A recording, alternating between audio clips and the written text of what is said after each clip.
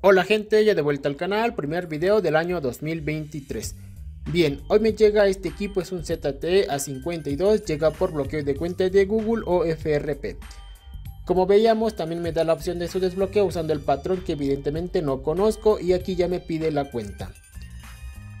Voy a apagar el equipo, en esta ocasión yo estaré ocupando una herramienta profesional que será NSK.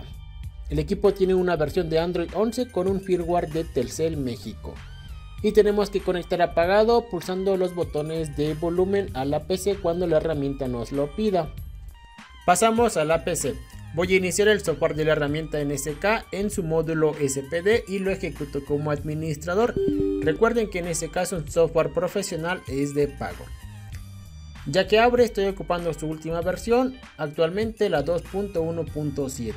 También abro el administrador de dispositivos para que pueda ver en los puertos COM el puerto que genera el equipo cuando lo conecto.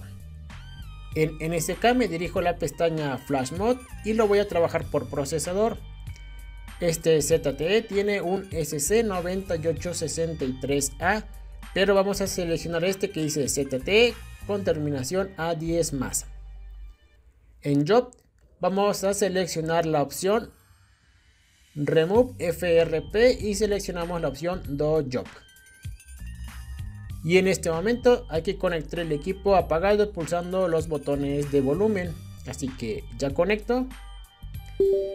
Y como ven, ya se genera el, el, puerto en el administrador de dispositivos. Y en NSK ya se comienza a hacer el proceso. De hecho es bastante rápido. Y aquí ya terminó Aquí ya nos confirma que se eliminó el FRP y podemos desconectar. Listo, el proceso terminó. En NSK podemos ver la confirmación de la eliminación del FRP. El equipo se reinicia automáticamente, no tuve que prenderlo. Y ya solamente voy a esperar a que me inicie para poder configurarlo y confirmar que ya no pida cuenta de Google. Aquí ya está iniciando. Omitir vemos que aún lo tengo conectado a mi red Wi-Fi. A mí me gusta ocupar herramientas profesionales, en este caso NSK, para hacer este tipo de trabajo, ya que es mucho más rápido que hacerlo de manera manual. No copiar.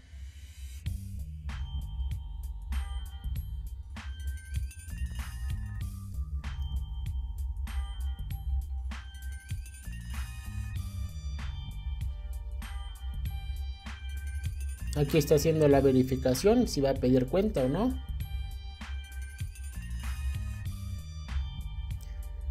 Y listo, omitir.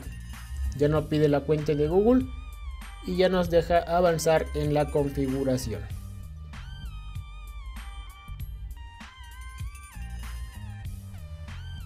Al menos yo no había visto el aporte en YouTube para la eliminación del FRP de este modelo usando NSK.